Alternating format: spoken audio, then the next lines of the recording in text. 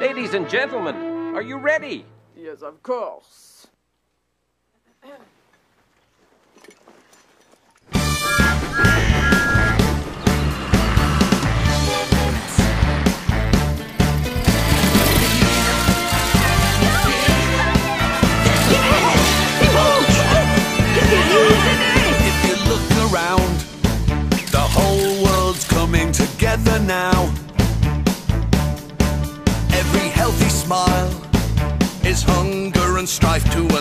Child.